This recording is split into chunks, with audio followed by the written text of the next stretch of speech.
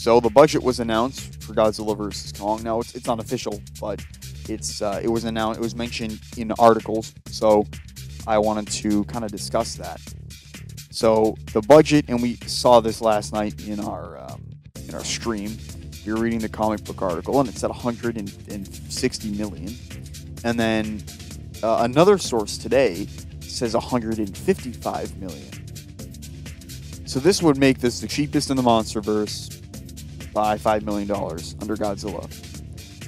Um, we don't know the budget of Godzilla 2 because it's more of a range. I've seen some say 190 million. I've seen some say 170. Kong Skull was 185. Um, 2014 was 160. I wouldn't worry too much about this, okay? And the first thing that I would say, and some people I think got a little angry on uh, on D-Man when he kind of tweeted the news about it. Um, so I think the most important thing to realize here is that technology gets cheaper, okay? What can be done with 160 million dollars today or in, you know, May 2021 is a hell of a lot better than what could have been done in 2014. That that's a 7-year difference. 6 years at the you know, if, if we're going to consider the delays. You can get a lot better. Things get a lot cheaper in that time. Look at how look at how good video games looked six, seven years ago. Look at how, better they look now. Technology gets cheaper. It's not something I had to worry about. But I think the environments.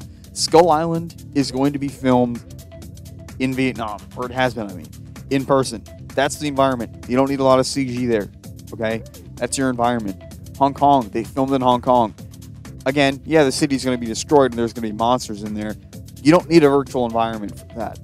Godzilla King of the Monsters had a lot of virtual stuff, right? They had a lot of that under the underground shots. There was a lot of CG in that movie. Um, a lot of CG environments, not just creatures. That's something that Kong Skull Island didn't have as much as. The only thing that I could think about in this movie is the Hollow Earth. That could potentially be something. Do we go down there? That could be pretty, um, you know, CG heavy.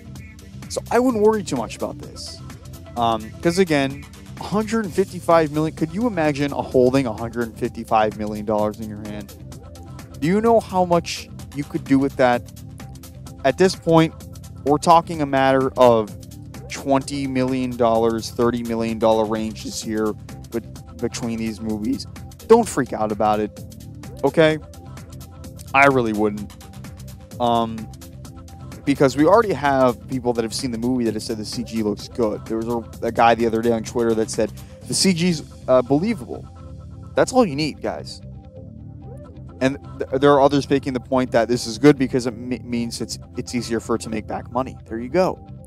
If Legendary gets that Netflix deal, 20 250 million dollars, they've already netted a fucking 100 million dollar profit. There you go and their marketing's been pretty fucking cheap. Unless they throw something in the Super Bowl, which in that video I mentioned, which would be really stupid. Um, this is a good thing. I wouldn't worry about this, guys. Chill out a little bit. The budget's that's a lot of money. Okay, don't worry about it. Uh, just just stay tuned for the next couple days.